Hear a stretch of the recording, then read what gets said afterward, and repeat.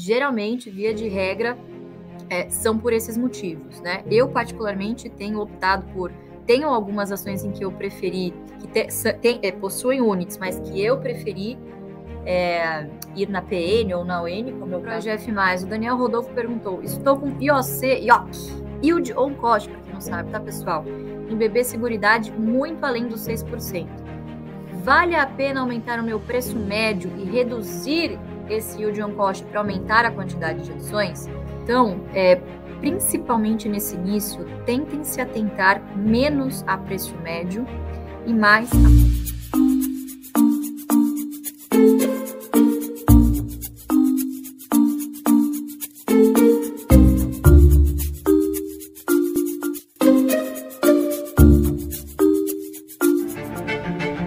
pegar essa daqui, você também me complementa caso você ache necessário. Tá Tiago Mossi, não sei se é assim se fala, desculpe. Quando se justifica a compra de units? Excelente pergunta. Percebo que às vezes o preço do pacote de units é maior do que os preços separados das ONs e PNs que as compõem. E mesmo assim, as pessoas compram units. Algum racional? Sim, Tiago, principalmente relacionado à liquidez do papel. Você tem algum, algumas empresas em que a liquidez da ON, PN ou Unit é indiferente, que você consegue operar normalmente, principalmente se você é um pequeno investidor, né, um pequeno sócio. Agora, posições maiores ou estratégias um pouquinho mais arrojadas, como por exemplo, você quer lançar opções, né? Você quer ter ali a disponibilidade de você alugar as suas ações. Geralmente, via de regra, é, são por esses motivos, né? Eu, particularmente, tenho optado por. Tenho algumas ações em que eu preferi, que te, tem, é, possuem units, mas que eu preferi é, ir na PN ou na ON, como é o caso do Santander, porque eu acho que tem boa liquidez, apesar de eu, eu não, não costumo operar muito opções nesse papel. Agora, a Taesa, por exemplo, eu fiz questão de ir pela 11, né, pela Unity, porque o aluguel é muito bom, se bem que ultimamente eu nem tenho, nem tenho disponibilizado os meus, meus papéis para aluguel, para aluguel, mas é, é, sempre bom você ter essa opção caso haja um aluguel aí fora da curva. É, e também faço a estratégia de dividendo sintético, que é lançamento de put, quando está um mercado muito extremo, mas caindo, ou lançamento de call, que é o lançamento que é quando o mercado está num extremo mais para cima, né? Como que é mais ou menos parecido com o que a gente está tá vendo agora. Então, a decisão de, é, de unit ou de classe de ações primeiro, vai depender da liquidez. E segundo, vai depender muito também dos direitos individuais de cada uma dessas classes.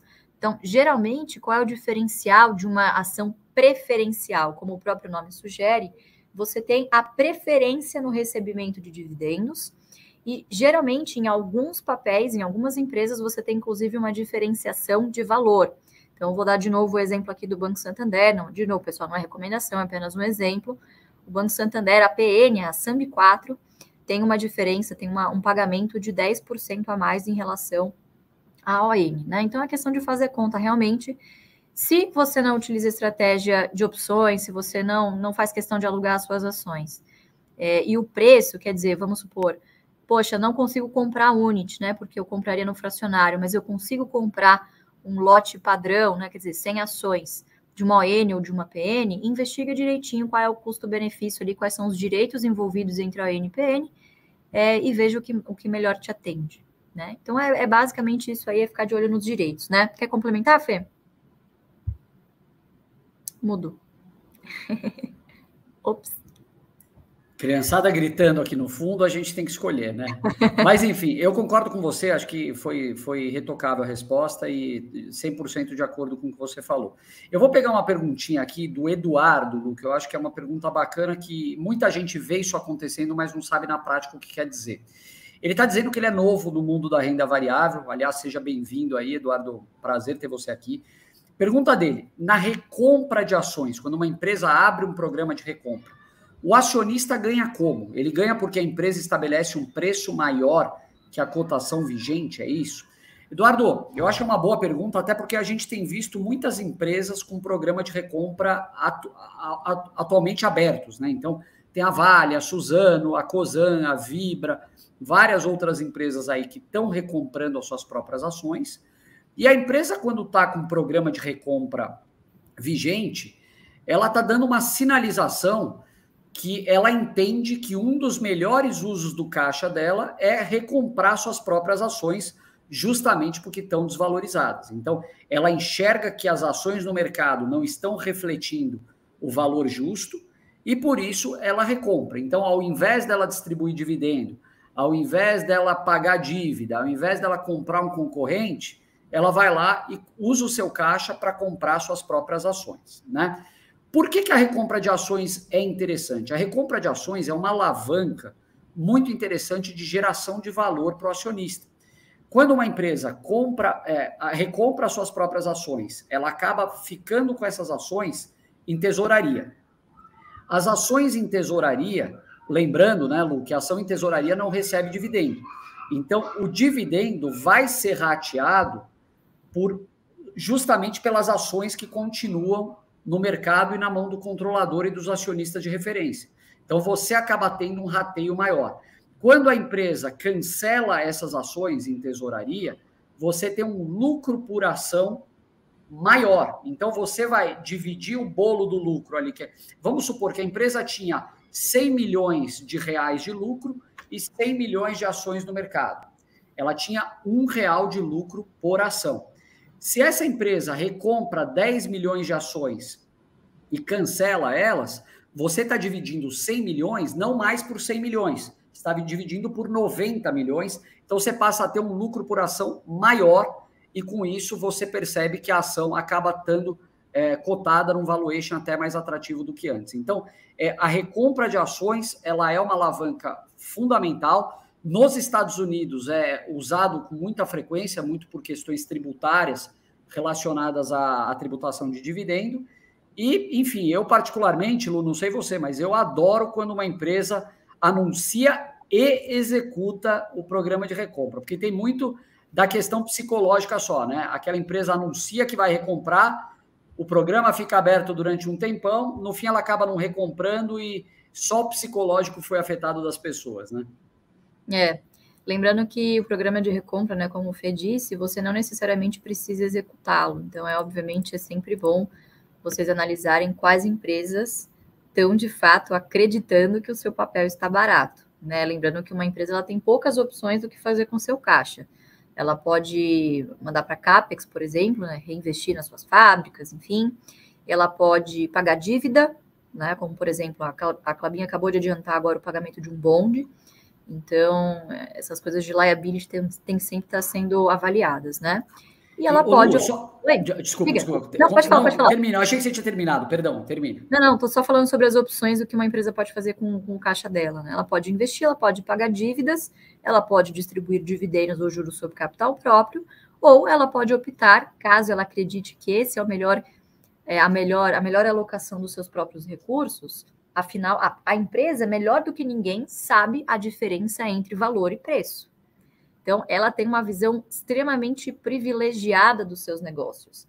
E assim que ela avalia que existe uma simetria muito grande entre o preço de tela, o preço cotado a mercado e o valor e o quanto ela acha que a sua ação vale, aí ela consegue fazer um cálculo de tiro, um cálculo de retorno e avaliar qual que vai ser o melhor emprego ali do seu do seu capital. Vai lá, Fê. Não, o que eu ia falar é que eu, enquanto você está falando aqui, eu fiz uma simulaçãozinha rápida hum. e uma das coisas que a gente, eu estou falando tudo isso do programa de recompra, mas um dos pontos principais é que você acaba recebendo um dividendo por ação maior, né?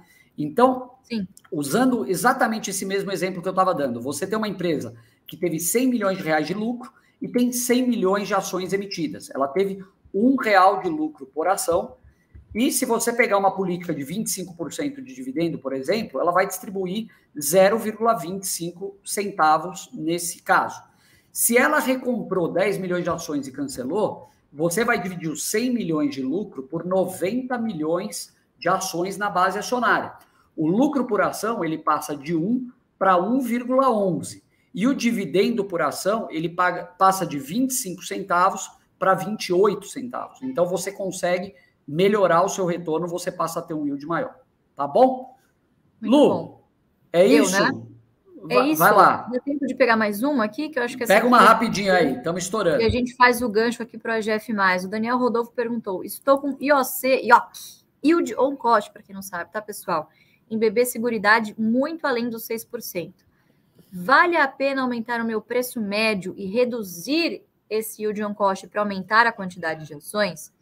O Daniel, é, o yield cost é uma métrica muito legal, mas cuidado para você não ficar aprisionado a ela, tá? Por que, que eu estou te dizendo isso? Para quem não sabe, pessoal, só resumindo, o yield cost basicamente é o seu retorno em dividendos em relação ao seu preço médio, ok? Entretanto, a gente não pode se esquecer que o valor bruto né, recebido de dividendos por vocês, em, em cash, não em termos percentuais, ele aumenta conforme a quantidade de ações de vocês aumentarem. Então, é, principalmente nesse início, tentem se atentar menos a preço médio e mais a quantidade de ações, claro, se o papel estiver abaixo de preço teto. Tá bom? Então, particularmente, a BB Seguridade faz um tempo que eu não olho, mas eu acredito que esteja abaixo, sim, de preço teto projetivo.